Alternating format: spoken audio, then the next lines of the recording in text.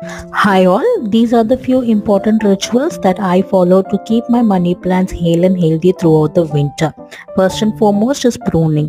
Trim any leggy or yellowing stems to maintain the plant shape and encourage bushier growth. Focus on removing dead or damaged leaves alone. Reduce watering. Adjust your watering schedule according to allow the top inches of soil to dry out before watering.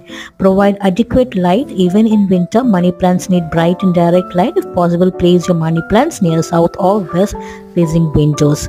Increase humidity. Money plants generally like higher humidity, so consider misting the plants for placing a tray of water nearby to increase moisture in the air. So these are the few important steps that I follow to keep my money plants hale and healthy. Hope you all enjoyed watching the video and found it interesting. If you like the video, please like, share and subscribe. Thank you so much for watching.